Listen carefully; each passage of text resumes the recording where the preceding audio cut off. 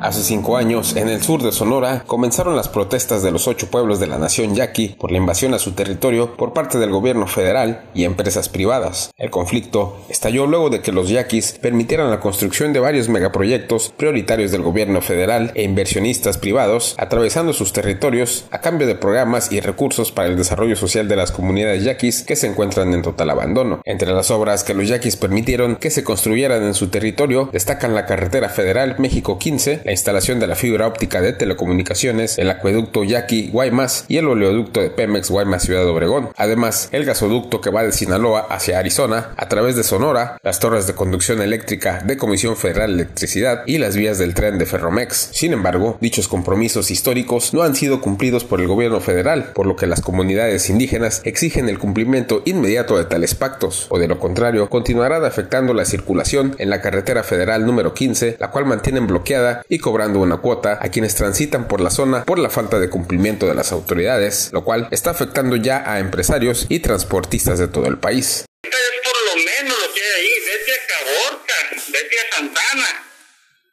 donde no sé si has visto los otros videos donde tiran varillas y todo para tener el tráfico en una en una situación de prepotencia por los ciertos grupos delictivos. Ahora, ¿qué, hay que hacer? Ya más que el gobierno haga su papel, si no puede, como lo dijeron, ¿eh? Así lo señala el empresario transportista de San Luis Río Colorado, Héctor Chacón, quien menciona que además de los bloqueos carreteros en el sur de Sonora, por el momento se han estado limitando al transporte local y hacia Baja California debido al gran riesgo que representa para los operadores viajar hacia el interior del país. Ante esta polarización de conflictos, por un lado se encuentran las exigencias de las tribus yaquis que por varios años han creído en las promesas incumplidas del gobierno federal y por otra parte las afectaciones colaterales a los empresarios y transportistas quienes a principios de esta semana bloquearon la carretera federal en Ciudad Obregón. Entonces, es cierto, el gobierno tiene, tiene muchas prioridades, pero el transporte, yo creo que usted coincide y mis compañeros coinciden que el transporte es, es meramente esencial,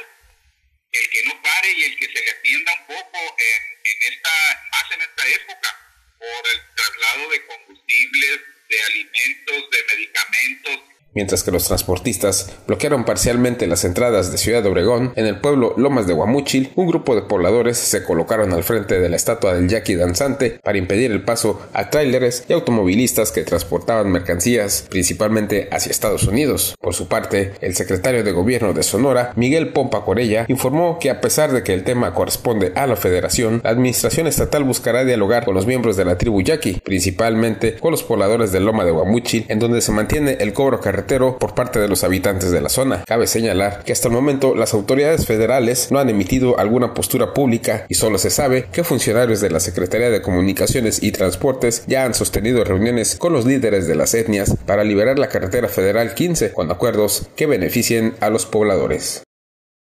Cristian Arillano, Mega Noticias.